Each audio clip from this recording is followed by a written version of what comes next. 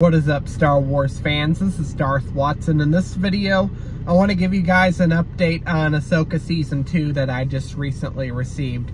And Rosario Dawson, uh, Rosario Dawson says that Ahsoka Season 2 is a big deal. They haven't started filming yet, and I believe Ahsoka Season 2 is still in the writing process by Dave Filoni. But it's going to be more exciting than Ahsoka Season 1 and there's and also Rosario Dawson says that Ahsoka season two teased that we're gonna see a lot more of Ahsoka and Sabine Wren, as well as learning about learning more about Shin and Baylan Skoll, as what we should be diving into within the next season. Thrawn shouldn't have a big part in the next season because I think Dave Filoni is saving Thrawn to be the big bad guy of his Star Wars movie, and I have stated that thousands of times. Ahsoka season one set up Thrawn's as return as heir to the return as heir to the Empire. So Thrawn's return as heir to the Empire, and then Ahsoka season two would be where Sabine Wren and Ahsoka have to figure out how to escape Peridea and return to the known galaxy. And uh, with Ahsoka Season 1 setting up Thrawn's return as heir to the Empire, and Ahsoka and Sabine Wren are stranded on are stranded on Peridea.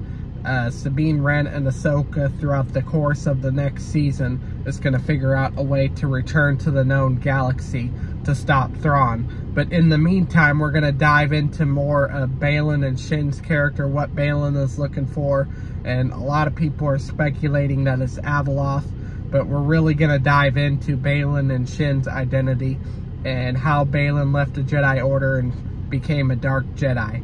Now, Baylan is not necessarily a Sith, but he is a dark side user. And I cannot wait to see how all of that unfolds. And with Ahsoka Season 1 setting up Thrawn's return as heir to the Empire, plus Dave Filoni saying that Ahsoka Season 2 needs to happen first, because Sabine Wren and Ahsoka are still on Peridea. Uh, that those that's the reason why that that's what leads me more and more to believe that Thrawn is the heir to the Empire in Dave Filoni's Star Wars movie, and Dave Filoni's Star Wars movie would likely be called Heir to the Empire, and it'll connect Ahsoka Season 1 and Season 2.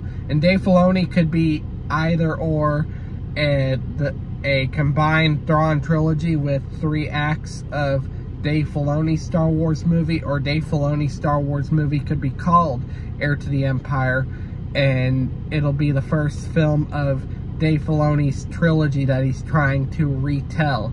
A new and fresh canon version which has taken up inspiration from Star Wars Legends. Now, Star Wars Legends was no long was was not canon. Star Wars Legends was never canon, but they're taking a lot of ideas out of Star Wars Legends. Even George Lucas took the idea of Darth Talon to be one of the main villains in his vision of the sequel trilogy. That was taken from Legends, but it's not going to be in the way that Legends has created this character. It'd be in a totally different way, where she would serve as the apprentice to Darth Maul. But anyways, that's all I have to say for this video. Do make sure to smash a like, subscribe, comment, and I will catch you all later in another video.